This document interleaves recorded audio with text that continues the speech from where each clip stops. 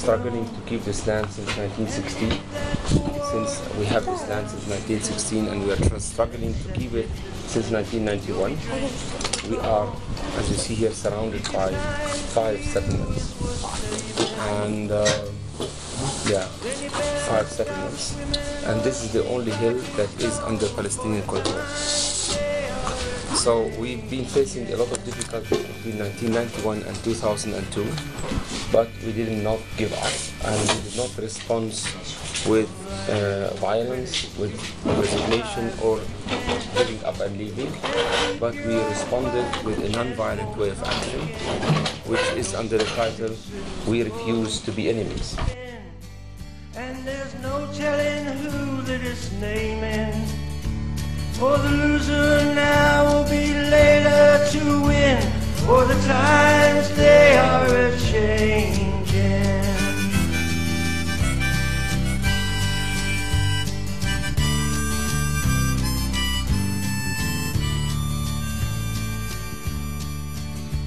Come senators, congressmen, please heed the call.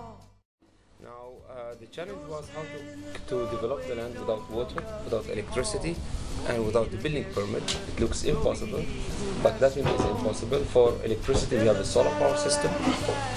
Yeah. For water, we are collecting rainwater, and without building permit, we are not allowed to build on the ground. We started building under the ground. We started renovating existing caves. And it's a way of non-violent and creative way of action because we believe like with this way of action you force the other to see you as a human being. your sons and your daughters are beyond your command. Your old road is rapidly aging. And the idea of the Nation is to invest our frustration in a positive way because our frustration is an energy. You know, when we are angry, you are you act normally in a negative way, but we are learning how to channel this pain to be in a positive way.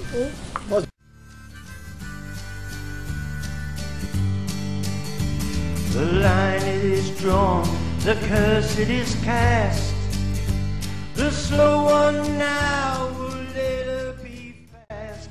As the present here to say, okay, if you want to, to have a place called the Tent of Nations, we need to develop it.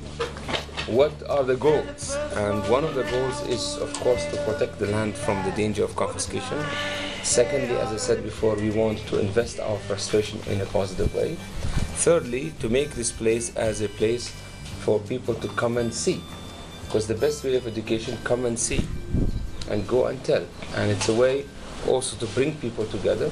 And that's why it's important to bring people together to build bridges of understanding, of reconciliation and peace.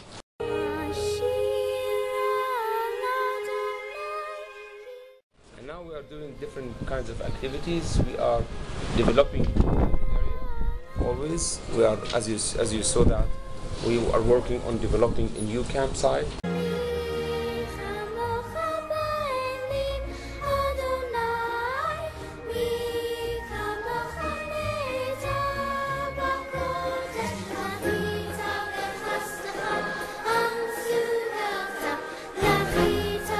We are um, doing a tree planting project between January and March.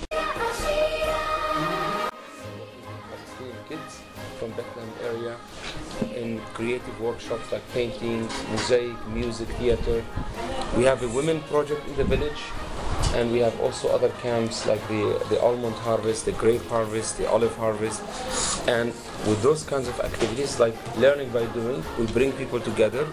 They can do some work together here, do field trips and in the evening come together to learn from each other.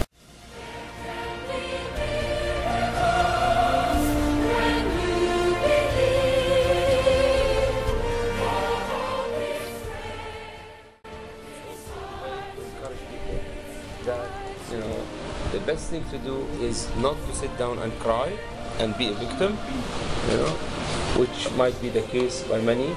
We say no, we have to stand up and raise our voices and start acting in different way.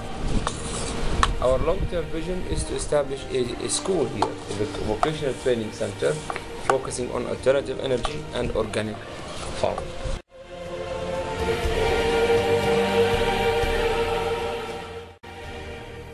And at the end, yeah, the work will continue in small steps.